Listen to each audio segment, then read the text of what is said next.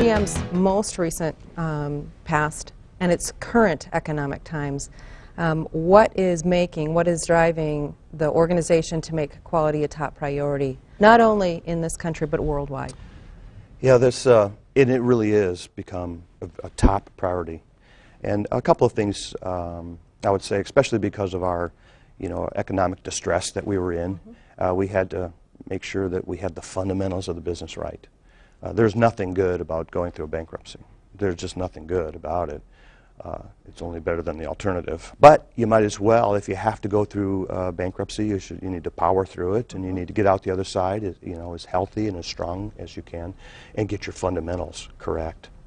Uh, a couple things happened. One, we clarified our mission as a company, and our mission is is never in my whole career. It's never been so crystal clear. General Motors will design, build, and sell the world's best vehicles. That's pretty clear we will design, build, and sell the world's best vehicles. And we went forward to get our IPO and to, to take the, the business public mm-hmm. again. Uh, we had to convince Wall Street and the analysts and, and investors that we had a new business model. And it was a business model that would generate profit, and that profit would be able to be, you know, brought back into the business and continue and uh, sustain uh, a healthy business. And that whole business model was predicated on designing, building, and selling the world's best vehicles, vehicles that people appreciate, uh, that, that they're willing even to pay a, pay, pay a premium for. Mm-hmm. So um, that became a real focus. And we understand that what it means to uh, design, build, and sell the world's best vehicles without quality, forget it. There's no way to accomplish that mission. So quality became the foundation of which we would build uh, the world's best vehicles.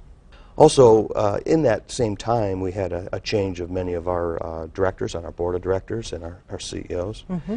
And one of the new board members, uh, first time I met him, within a, about a minute, uh, he started to recount. Now, I'm going to get the date wrong, but it was in the 80s. He had bought a General Motors vehicles in the 80s, I think 88, and the vehicle let him down. The vehicle broke down while, they, while he had his family and they were on a trip of some sort. And he was he was retelling that story as if it happened that morning. He was very present. And he kept that in him, and he was, you know, it was almost cathartic just to watch him. and and his drive was, how will that never happen again? Why did that happen? And it was like, why did it happen? It was in the 80s. I don't know. it wasn't me.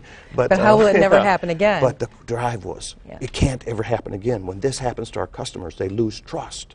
We've broken our promise. Mm-hmm. And so it, has been, you know, from top down, bottom up, it's, it's just been that uh, refreshing uh, aspect of as we've come out of bankruptcy and created the new GM, uh, having that as our bedrock is, mm-hmm. is really great. And, and, people know it. You know, our, our employees feel it. They know it, that this is how it And there's a pride. should have been. Oh, there's a, it's, it really is a, an esprit de corps and a morale to know that what I do matters